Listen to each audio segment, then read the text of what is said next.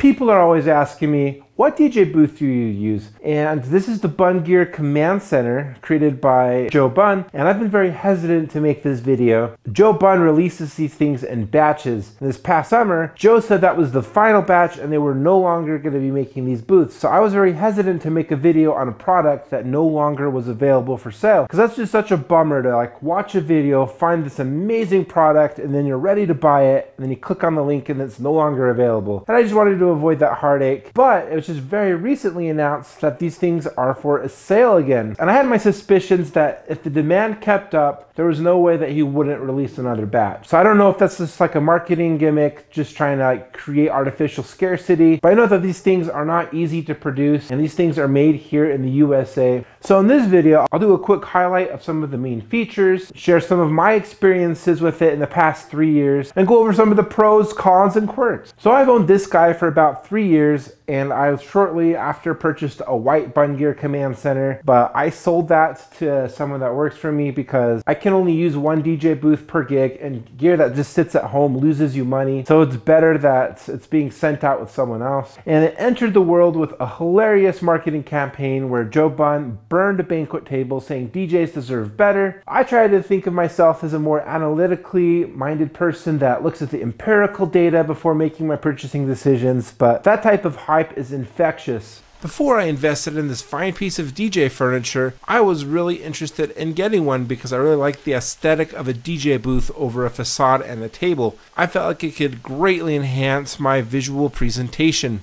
But I did have a hard time with it because it basically has the same functionality as a basic fold out table at about a hundred times the cost. But DJ presentation does matter, especially for higher end gigs. And I'm a decent woodworker, and I considered making my own podium style booth so I could achieve the modern DJ look at a fraction of the cost. I even drew up some plans, but after realizing some of the shortcomings, I crumpled up my plans and I threw them in the garbage.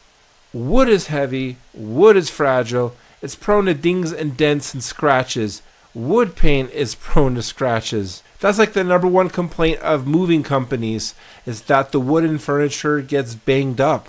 And I didn't want to have to deal with that problem at every single gig. The Bunn Gear Command Center is much lighter because it's made out of high grade aluminum that is powder coated, which is more resilient than wood paint. My do it yourself DJ booth didn't have a great way to take it apart and transport it between gigs. I wanted a booth that could break apart easily and fit inside my car. The Bunn Gear Command Center breaks apart into three components and it doesn't require any tools to assemble. There's some padded bags available for purchase that are rugged and don't really add any extra weight or volume. I wanted a booth that would help streamline my setup and takedown process. The Bunn booth is great because you can transport gear pre-wired which saves a ton of time. The top is pretty large, you can fit pretty much any DJ controller slash mixer combo. It has a 19 inch rack that can hold all sorts of gear, but it's awesome that it's flexible that you can adjust it to the way that makes sense for you. The Gear Command Center also comes with an adjustable laptop stand that can be used on the left, right, or center. I liked that it had the sunken look. My DJ controller and my DMX controller are at the same level as the surface of this booth. And I like it so that people can see your hands. People can see what you're doing. And I feel like that definitely adds to the ambiance of the event. It's like at a fancy restaurant where they do like tableside steak cutting. Like seeing them cut the steak helps add to the ambiance instead of it just coming in a plate placed in front of you. And this thing sits about 39 inches high. That's another common question I get.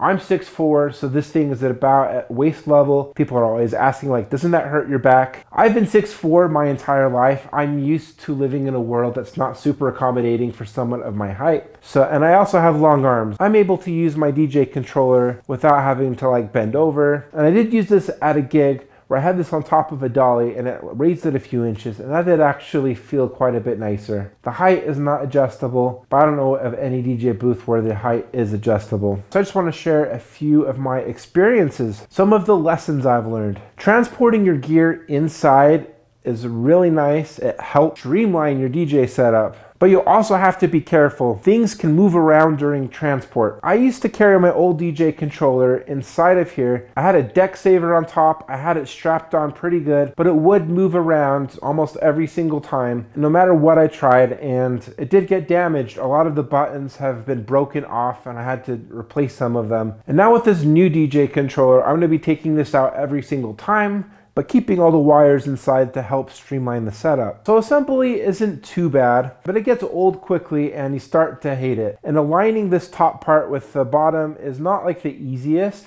You get used to it. I know I'm not the only Bunn Command Center user who feels this way, but I started transporting this thing pre-assembled on top of a dolly inside of my trailer. And I had some Tuki covers as well to like protect this during transit. But there's a lot of venues here that are not trailer friendly where there's nowhere to park your trailer. So I am back to using my SUV, but I love having the flexibility that I can just take this thing apart and use a smaller car. As mentioned, this booth is meant to house any type of DJ setup and different controllers are different heights. So they developed an adjustable rail system where your DJ controller can rest on top of it so that it's flush with the booth's top surface. But I found it to be kind of a pain because during transit the bolts would get loose and I'd constantly be having to readjust them. But that was the old rail system. This is a second generation Bunn Gear Command Center. They addressed that with a more robust rail system and it looks really awesome. So when you're using a table, the table doesn't really care what type of DJ equipment you put on top of it, it'll hold it all just the same. But when you have a DJ booth that has the removable custom top plate that's specifically cut for your particular equipment, changing controllers is not super trivial. Like here's the one for my last DJ controller. And I ended up having to add an extra slot because I wanted to have my control one right next to me.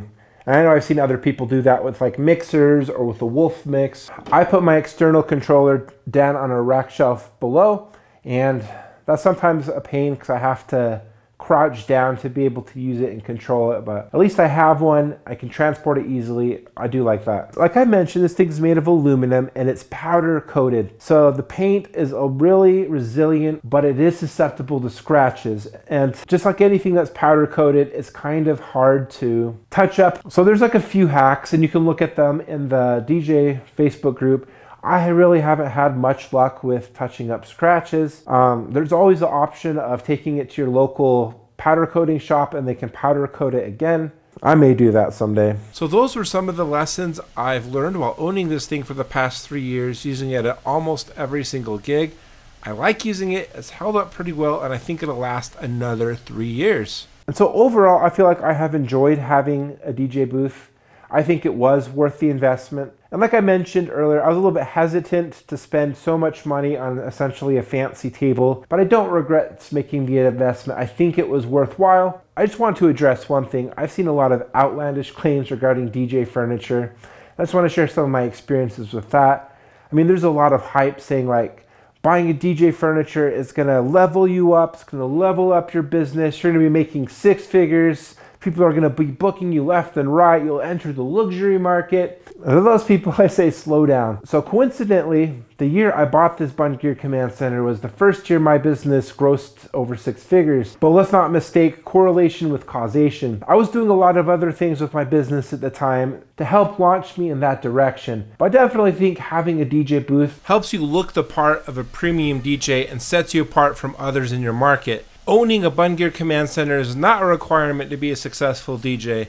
Owning a piece of DJ furniture is not a requirement to be a luxury DJ that can command a premium. I don't think people are booking DJs solely based on like the aesthetic of their setup. At least that's just not been my experience. I've only had like one person specifically ask for this podium style DJ booth. And ironically, I've had more people specifically request the facade over the DJ booth. But getting a DJ booth can help you feel like a million bucks. And if you feel like a million bucks, you'll start acting like it. You'll start performing better. You'll have an elevated perception of your own brand. And that can go a long way in helping you enter the premium market and make more money. And clients do notice it. I get compliments all the time. And even if people can't place their finger on why the experience is better, it really does help give a nice, elegant ambiance. But at the same time, aesthetics are very subjective. Not everybody really likes the look. I've had planners even come up to me and be like, wow, your booth is really fancy. Like it's a bad thing. Even at a bridal show, a planner came up to me. And like, "Wow, you DJs are so industrial. I could never get away with that at my weddings." And, and you know, I think subjectively, the DJ booth has these curved edges. It's clean. It's minimalist. And I'm gonna say the negative feedback has been few and far between, and I get complimented about every single event. People are amazed. People ask me if I made this themselves. They say they've never seen anything like it, which surprises me because I feel like there's so many people in my area that have DJ furniture and Bunn Gear command centers specifically. And that's one of the criticisms I see levied against DJ booths is that as they get more and more popular, the novelty kind of wears off and it doesn't make you as unique and stand out as much. But by far and large, the majority of DJ companies aren't using DJ furniture. And the ones that do are probably some of the top contenders in your market. And that's not terrible company to have. Stairs are the DJ booth killers for a lot of different models and designs. Not this guy. I love that. Even if you transport it fully assembled with another person, it's really not that heavy. And I feel like a lot of DJs get bored of their aesthetic and they're constantly trying to switch things up. It'd be awesome if we had some accessories for the Bunn Gear Command Center. Like one time I decided to put some side panels and attach a TV to the edge of this thing and I thought that was pretty cool. And I feel like that plays into my ethos of just having one DJ booth. I, I don't like having multiple DJ booths. They take up a ton of room, they're expensive, they're heavy. You have to have all your gear put in it, or if you have to move all of your gear to your other booth, and it's a lot of extra time. It's like the opposite of streamlined, so I don't like that. And so while I love this look, part of me does miss like the glow of a facade, like on a big stage, a big empty stage. It gives a lot of warmth and presence, and I kind of miss that. And I know that you can put up lights at the bottom. I just don't feel like the black one is nice as like the white one. But even the white one I feel like is not, doesn't diffuse light as well as a facade. But overall, I feel like this is a worthwhile investment. I think that this DJ booth has actually lived up to its hype a little bit. I feel like it has leveled up my business. Even if it's just in my own mind, I feel like it has definitely helped. It's helped streamline my setup and it's been really an enjoyable piece of gear to have. So do you own a Bunn Gear Command Command Center. What are your thoughts? What have your experiences been? Do you own a different DJ booth? What have your experiences been? Are you considering purchasing one of these? What questions do you have? Let me know down in the comments below and please smash like and subscribe. I try to create unbiased, ego-free content to help you with your business. I'll see you in the next video.